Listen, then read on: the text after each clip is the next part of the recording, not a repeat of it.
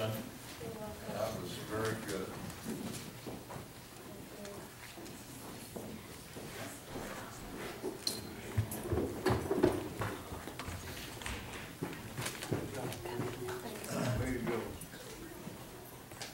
Pilate brought Jesus out, beaten and bloody, and stood him before the crowd and said, Behold the man.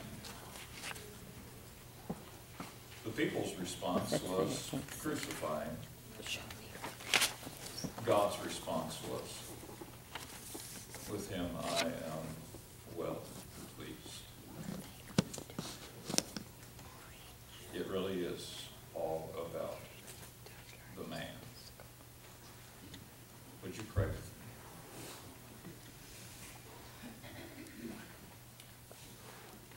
And that is my desire in these moments, Father, to lift up the name of the man. That name which is one day above all names. Father, your word is very powerful as it points to Jesus. May that word lift him up and may it accomplish what you intend. In his name, I do pray. Amen. These were uh, difficult days for uh, King David in his life. His uh, son Absalom had uh, recently led a rebellion against him. Absalom was the heir apparent to the throne, but he uh, thought he would take uh, the situation in his own hands, and he led a rebellion against his father. His intention being not only to dethrone his father, but to uh, put him to death. That uh, rebellion was uh, squelched, but in the process of uh, putting down that rebellion, Absalom, David's son, was killed. And so uh, David's dealing with uh, the uh, dust in the wake of a rebellion. He's grieving over the death of his son, whom he had envisioned as sitting on the throne after him. And no sooner is Absalom's rebellion put down then uh, David faced another threat. His kingdom had, had just been restored, and now he faced another threat that is recorded in the 20th chapter of 2nd Samuel. I'd like to read uh, simply the first two verses of that 20th chapter, that rebellion being led by a man by the name of Sheba. 2 Samuel chapter 20, verse 1. Now there happened to be there a worthless man whose name was Sheba, the son of Bichri, a Benjamite, and he blew the trumpet and said, We have no portion in David, and we have no inheritance in the son of Jesse.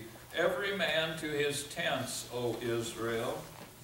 So all the men of Israel withdrew from David and followed Sheba, the son of Bichri. But the men of Judah followed their king steadfastly from the Jordan to Jerusalem. The rest of chapter 20 uh, tells how that rebellion led by Sheba was crushed and David's kingship was solidified. But as I read that, and as I considered this text, one word jumped out at me.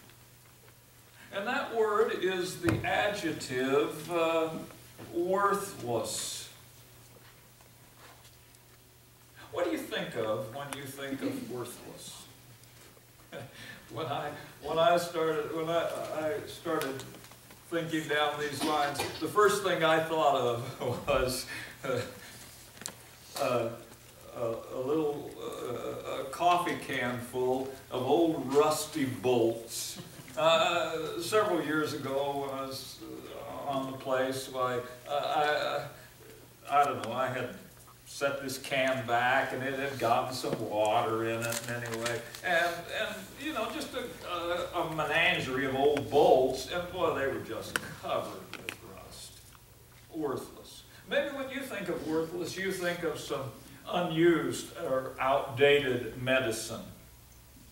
Maybe uh, you think of, and maybe you never do this, maybe you think of uh, that uh, uh, dish, that little dab of leftovers that gets pushed back to the back of the refrigerator and stuff gets piled on top of it and you kind of forget that it's there. And then one day you're kind of looking for something and you pull that thing out. I wonder what's in this, and you pull the lid off, and it's got green stuff growing on it. And maybe that's what you think of when you think of worthless. Maybe uh, you think of some old rotten bales of hay. But is it possible for a person to be worthless? After all, every single human being is created in the very image of God. And in the words of the little boy, God don't make no junk. What do you do with things that are worthless? I know what I did with that can of bolts. I had, had a place uh, uh, out there in, in, one of the pastures that I dumped stuff that wasn't any good, and I just took it and threw it away. It wasn't any good. I just threw it. Maybe with your uh, worthless medicine, you flush it down the toilet and it goes into the sewer or the septic. Those leftovers that, uh, with that green stuff, they go into the garbage and uh, taken to the landfill. Those old hay bales, uh, I uh, would strike a match to and uh, get rid of them. But a person, if it's possible that a person could really be worthless, what do you do with a worthless person? What's that person's fate?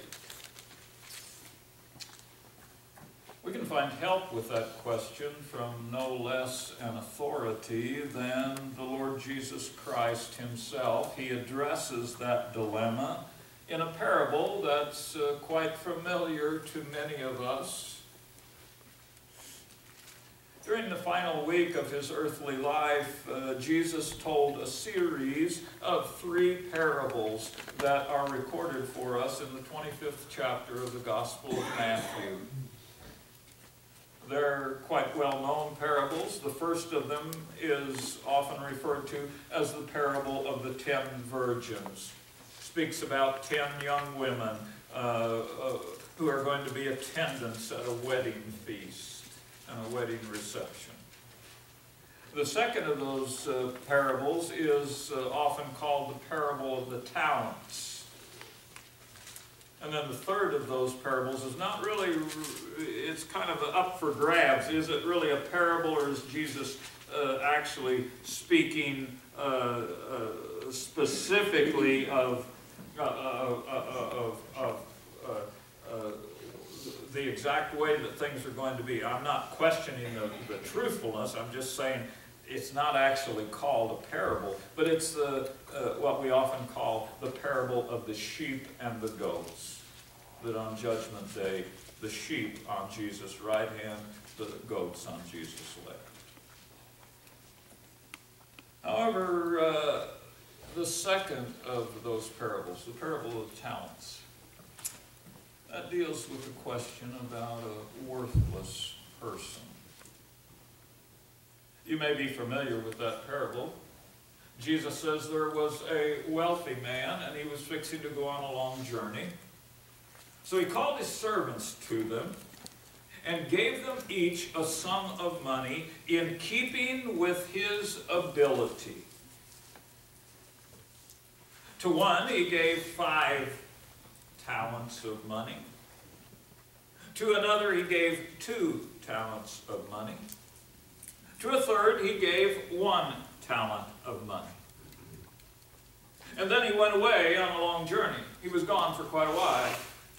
Well, no sooner had he left than the man who got the five talents went and put that five talents to work, however he invested it, whatever he did with it. He, he soon earned five more. He doubled the amount. The man that got the two talents, he took that two talents and put it to work in some way, and uh, uh, it earned two more. But Jesus says the man that got the one talent, he took that talent and he dug a hole and buried it and did nothing more with it. Well, after a period of time, the master comes back. He uh, wants to settle accounts with his servants. And so he calls uh, the first one in. The servant says, uh, Master, you entrust me with uh, five talents. Look, I have earned uh, uh, five more. And the master's response was, Well, excuse me, well done, good and faithful servant. You have been faithful over a little, I will set you over much. Enter into the joy of your master. Pretty uh, uh, meaningful commendation. The man that had given that, he had given to whom he had given the two talents, he came and said, "Master, look, I you gave me two talents. I've earned two talents more." And the master's response to that second servant, identical to the response of the first servant. Well done, well done. Enter into the joy of your master. Third servant came. He gave him back his talent, all right. But he said, uh, Master, I knew that you were a hard man, harvesting where you have not sown and, and, and uh, taking in where you have not uh, uh invested. So I was afraid. So I went and took your money and I buried it. Here, this is what belongs to you. and uh, the master's uh, response to that servant, you wicked and slothful servant. You should have taken my money and at the very least invested it with the bankers where I could have gotten it back with interest. And then these chilling words of Jesus through the voice of the Master about that servant. Matthew 25, verse 30. And cast the worthless servant into the outer darkness. In that place there will be weeping and gnashing of teeth. Jesus himself. About a person that he knew very well had been created in the very image of his Father God. And Jesus says the assessment of that servant is you are worthless. What happens to a worthless person? Well, Jesus said that uh, that worthless person is cast into outer darkness where there is weeping and gnashing of teeth. Not a pretty picture, a frightening thought. Last week, uh, we looked at Psalm 89 and we were reminded of the Lord God's great faithfulness And uh, one of the ways that he uh, is faithful is faithful to the covenant promises that he made to David. And part of that covenant was a twofold promise. One is uh, a promise to bless David's descendants forever, but uh, the other part of that promise is to punish sin and transgression and iniquity. Everybody likes to think about blessing and that blessing being forever, but nobody likes to think about punishment, uh, especially to think seriously about a place uh, of punishment called hell. And so we joke about hell. We ignore it. We don't even think about it. Or maybe we deny its existence. This is where we seem to be right now in our contemporary world. Uh, a few years ago, uh, a very prominent preacher uh, back east by the name of Rob Bell uh, wrote a book in which he uh, uh, pretty much denied the existence of hell. Just this one day this past week, as I was looking through a Christian book catalog, a title caught my eye. A title by a, a one of the foremost uh, uh, uh, Bible uh, uh, Christian writers of the day. A man by the name of Francis Chan. I have no, I don't know much about the man, but I have a great respect for him. He's the preacher at a church, at a large church. But the title of the book is what startled me. And I don't know what it's about, but the title of the book is Erasing Hell. we just try to deny its existence because we don't like to think about it. And, and yet the undeniable reality of the Bible, the unmistakable truth of the New Testament is that there is a hell, and the Bible talks about it. In fact, in the New Testament, the word hell is mentioned 14 times. And no less, no less than 12 of those 14 times, that mention of hell is on the lips of Jesus Christ himself. Every time that Jesus speaks of hell, he speaks of it as though it is a reality.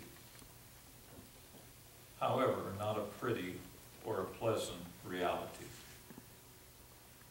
Jesus' uh, description of uh, hell, for instance, on the Sermon on the Mount, Matthew chapter 5, he talks about it as a place of fire Later in Matthew, in chapter 18, he talks about it as a place of eternal fire. Matthew chapter 10, he, uh, when he talks about hell, he says it's a place of destruction. In Mark uh, chapter 9, Jesus talking about hell says that there the fire is unquenchable. And uh, he uses the uh, rather uh, uncomfortable figure, their worm does not die. In other words, uh, the existence just goes on and on and on and on, the existence of the individual. And then in that uh, very familiar uh, in the, those very familiar words of Jesus in the 16th chapter of the Gospel of Luke, where uh, he, he relates the account of Lazarus and the rich man. As Lazarus is uh, there, he says it's a place of great torment. Jesus reinforces those thoughts as he concludes chapter 25 of uh, the Gospel of Matthew, where he related those three parables. And uh, his uh, concluding uh, words of chapter 25 are these and they will go away into eternal punishment, but the righteous into eternal life. Jesus says that this place of hell, punishment goes on forever, it is eternal, it never ends. And if we place any value, any store in the words of Jesus, we have to conclude that hell is very real. It's more horrible than we can imagine, than we could ever comprehend. And if we place any store in the words of Jesus, he says there will be persons who will spend eternity there. And so all the jokes about hell being a big party, being one big beer bash, uh, are nothing less than a blasphemous disregard for the Word of God. But as awful, as awful, and as horrible as all those descriptions of hell are, we dare not overlook one other aspect. And this is the aspect that, that actually prompted this sermon. As I, as, as I thought about that, it really impacted me. I mentioned to you that hell is mentioned in the New, Testament 14 times. Of those 14, 12 of them, the word hell is a translation of the original Greek word Gehenna. Uh, you may not be that may not be of any interest to you, but the word Gehenna is uh, derived from the name Hinnom. And uh, they kind of sound alike, or Ben Hinnom, son of Hinnom. And in Old Testament times, and clear up until the time of Jesus, the uh, uh, name Hinnom was given to a valley that ran on the south and west of Jerusalem, of the capital city of Jerusalem. This uh, uh valley had for centuries been the garbage dump for the city of Jerusalem. This was a valley, it was, it was, deep, there was plenty of room, and it was where everybody put their garbage. Decaying corpses and just, that was the garbage dump. Think with me for a moment. What do you put in the garbage dump? Well, you put old rusty cans of bolts. The only thing that you put in a garbage dump is what you deem worthless.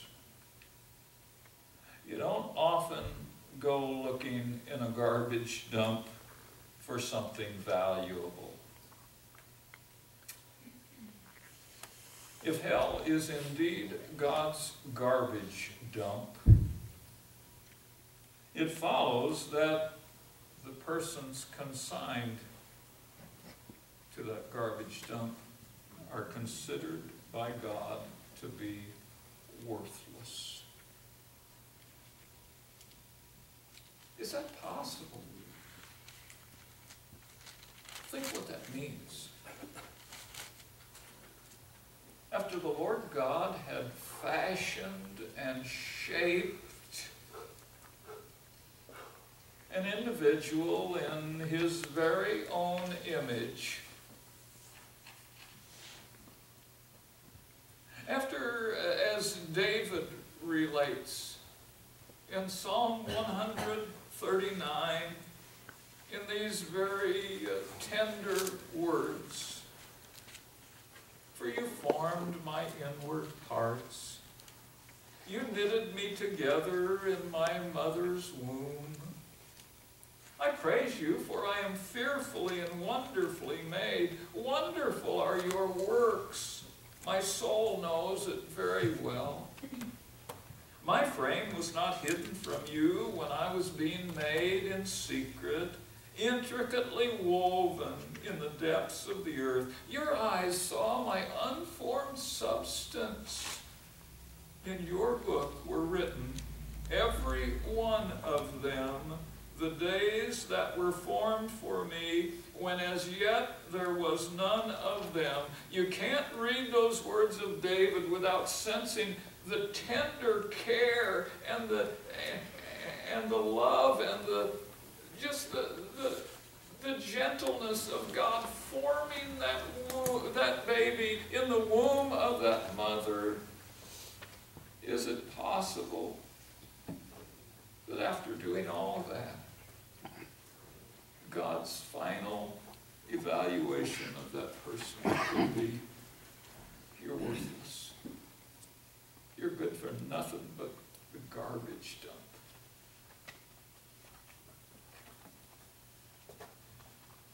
Could anything, could anything be worse than on that final day when the eternal destinies of every single person is decreed? Could there be anything worse than to hear God say, I consider you worthless. You're fit only for the garbage dump of hell.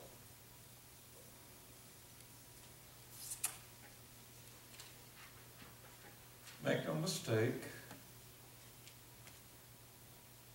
that's not the desire of God that even one human being should face that evaluation. Peter writes in 2 Peter chapter 3 verse 9, God is not wishing that any should perish, but that all should reach repentance. And in uh, 1 Timothy chapter 2,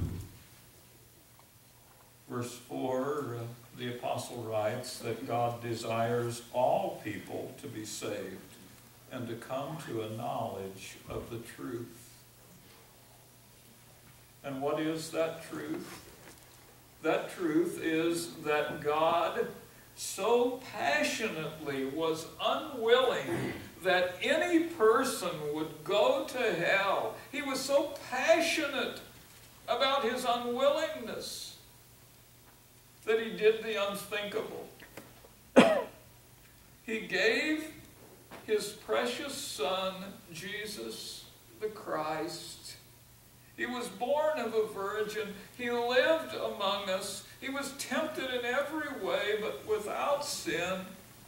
And then that Jesus willingly chose, out of obedience to his Father, to take upon himself, to take within himself all of the sin, all of the failure, all of the rebellion, all of the wrongdoing of every single human being, of you and of me, he chose willingly to take that into himself and literally become that sin, to bear in his body on the cross all of that sin, and there on that cross to suffer all the torments of hell in your place and in mine. He died. He was buried. On the third day, he arose to declare you can have victory over sin. You can. I can. We access that victory by knowing and by accepting that truth that the apostle said God desires all men to know. That truth. And then by repenting, as Peter says, desires all men to come to repentance, turning away from that sin. We dare not think there is some other way. God has no plan B. In John chapter 14, verse 6, Jesus says, I am the way and the truth and the life. No one comes to the Father except through me. A good life will not get you there. Church attendance will not get you there, as important as that is. If you're better than your neighbor or better than most people that you know, that will not get you there. God does not grade on a curve. Have you done more good than, than bad? The only way to access that eternity in God's presence is through faith and trust in Jesus. I realize that most in here are aware of that. Why then this sermon? It wasn't to beat anybody up. I have no axe to grind. But I think that we need to consider anew the horror of God's assessment that someone he loves, someone he created and fashioned in his own image, that his final assessment of that person would be, You are worthless. The horror of that assessment. You're worthless. May we never again joke about hell. May we care that others, others who don't know the truth that Jesus is the only escape, others who have not yet embraced Jesus as their Lord and Savior, may we care that those who have not repented, may we care enough, enough to pray. I know the danger of the same thing all the time. The danger is, especially when something's printed the same, to begin to just overlook it. I really, really hope that on the prayer list that is every week in the center of your bulletin, I really hope that you notice that for months and months and months now, up there at the top of that prayer list, there is this statement to pray for those you know who are far from Jesus. May we care enough to indeed pray for folks that are far from mm-hmm. Him. May we care enough to look for and to take, to make use of opportunities that God gives to speak the truth in love. May we take seriously the directive of our Lord go and make disciples of all the nations baptizing them in the name of the Father and of the Son and of the Holy Spirit, and teaching them to obey everything that I've commanded. And surely I'm with you always, to the very end of the age. Make disciples.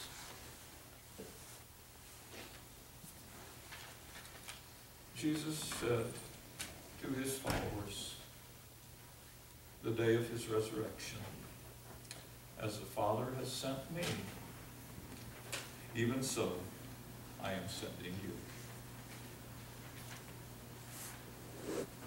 May we never consider hell lightly. May God place a burden on our hearts for people who have not entrusted themselves to Jesus as Lord. and may we do what we can. That leaves one question for any in here, and that is, have you personally accessed the forgiveness, the cleansing, if you will, the eternal escape from hell that is available only in Jesus Christ. You have accessed that personally only as you have committed your life, entrusted yourself by faith to Jesus Christ and his completed work on the cross, only as you uh, have uh, uh, repented of your sin, confessed his name before men, and met his, uh, come in contact with his blood in the waters of Christian baptism. And so, as we uh, would sing our hymn of decision invitation, number 336, Jesus, I come.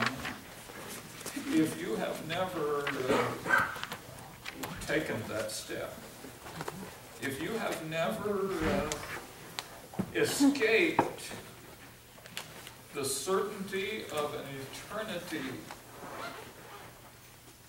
of uh, suffering apart from Jesus Christ. You have never uh, embraced Jesus and the hope that is found only in Him.